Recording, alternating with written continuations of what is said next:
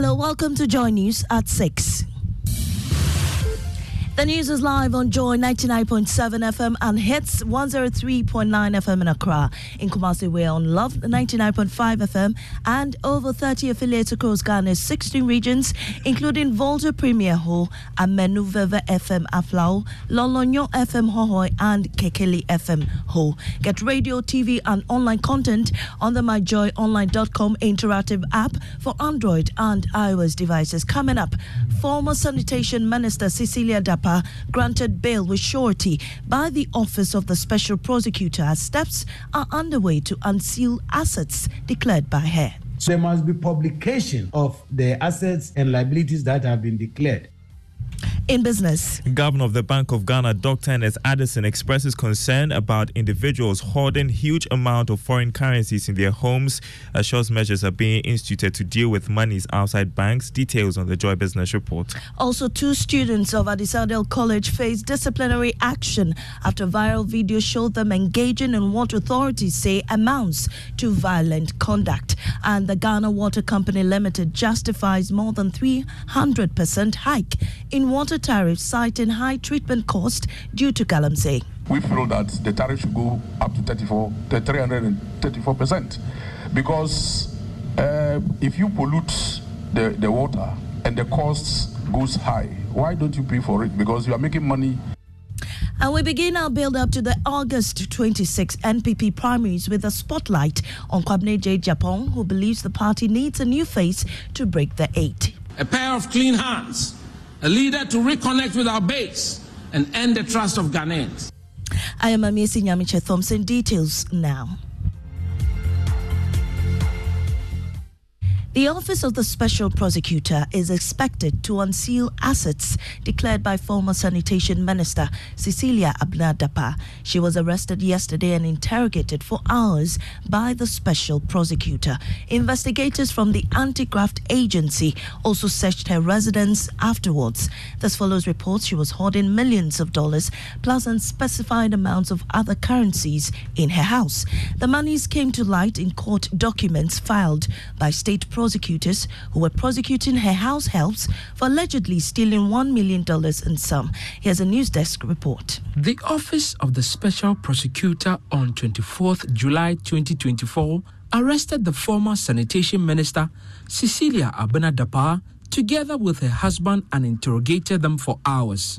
The investigators asked her where the monies came from, who it belonged to, and why it was stashed in the house. The former Sanitation Minister claimed not all the monies belonged to her. After over four hours of interrogation, Madame Dapaah was whisked away with security escort to search both her cantonment official residency and that in Ablekuma. The former sanitation minister over the weekend resigned after her stolen cash news became public. The monies came to light in court documents filed by state prosecutors who were prosecuting Cecilia Dapaah's house helps for allegedly stealing the amounts. Meanwhile, former Auditor General Daniel Domelevo is pushing strongly for assets declared by public officers to be published as prescribed by the Public Financial Management Act. So to be able to do that, I think the law must go a little bit further because Auditor General is not God. It is the people of the Auditor General to know whether the, de- the, the declaration is complete or not. So there must be publication of the assets and liabilities that have been declared. Again, if you read uh, the PFM uh, law on asset declaration before the Constitution, it says that within two weeks of declaration, the declaration must be published for Ghanaians to see. But the Constitution has watered it down. My colleague Elton Brobbey joins me with more from the OSP. Elton, what's the latest on Cecilia Dapaah? So the pointers we have from our source at the OSP indicate that the the embattled minister, former minister, has been granted bail. Now, yesterday they searched her official residence at Cantonment and, of course, at Abelemkpe. Now, we are told that they found something significant mm. in the two properties that were searched. And also, she's been, uh, some of her relatives have also been invited to assist in the ongoing investigation. Also, she's been given declaration of income and property forms to fill. And we are told that the OSP uh, today will update the country what they've done so far. Right. Thank you so much, Elton Brobbey. Now, moving on, the Ghana Education Service has taken immediate action following the emergence of a disturbing video showing an act of violence involving two students of Addis College. The video, which has been circulating on social media, has sparked outrage and raised concerns about the safety of students within the country's educational institutions. A student had filmed holding another from the back at the neck level with the inner part of his elbow. He takes the student closer to a bank bed and hits the powerless student's head against it. This causes an immediate swell on the right cheek and blood starts to ooze out. According to a statement signed by the head of the Public Relations Unit, Cassandra Twum Ampofo, GES is deeply concerned and strongly condemns the barbaric act by the culprits. School authorities say they have been they have suspended the alleged perpetrator as investigations continue. The other is also to face disciplinary um, committee with some sanctions expected to be imposed for failing to report the incident. Now, Managing Director of the Ghana Water Company Limited, Clifford Braimah, says the demand for more than 300% hike in water tariff is due to the high cost of water treatment as a result of illegal mining. Answering questions of the Public Accounts Committee, Dr. Braimah lamented the, de- the debilitating effect of Galamsey on its operations, calling on citizens to take the situation into their own hands and help end the menace. Uh, if you pollute the, the water and the costs goes high. Why don't you pay for it? Because you are making money on one hand by polluting the water. So bring the money and come and then pay for its treatment. Water resources should be empowered to do their work. Also the buffer zone that is 100 meters. We should even make it two kilometers because for Ghanaians, if you even give two kilometers, they want to chop into the two kilometers.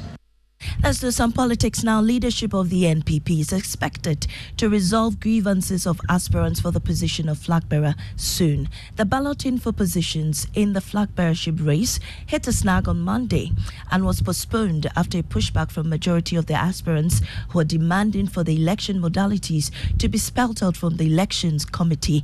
The aspirants have refused to indulge the committee until their concerns have been addressed. Attempts to resolve the issue on Monday failed after nearly three hours of a closed door meeting. Deputy General Secretary of the NPP, Haruna Mohammed, says another meeting will be held on Wednesday to resolve the issue uh, we did understand that uh, the balloting did not take place, but however, the meeting has been fixed on Wednesday to address some of the issues. But with regards to the modalities for this election, I don't think that there is a candidate uh, in this particular race who does not have the guidelines and rules that govern this particular election. And everybody has the right to make a point. And at any point in time, any committee that seized with the opportunity to handle that will hear and determine Let's stay a while longer in the NPP. Former General Secretary of the NPP, Kwabena Agyapong, says the party stands a better chance of winning the 2024 polls if it presents a fresh face.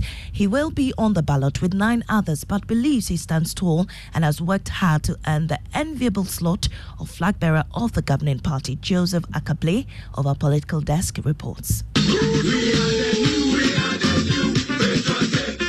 Kwabena J. Agyapong is not new to the NPP flag bearer race. He was part of 17 aspirants who sought to lead the party into the 2008 polls. We, the NPP, are the tradition that believes in creating a world of plenty. His membership of the party goes as far back as its early days when he played an active role in the campaign of presidential candidates Albert Adu and John Agyekum Kufuor in 1992 and 1996. I'm not a newcomer. I did not join our great tradition midstream after the danger abated. When the party won power in 2000, he became President John Agyekum Kufuor's press secretary.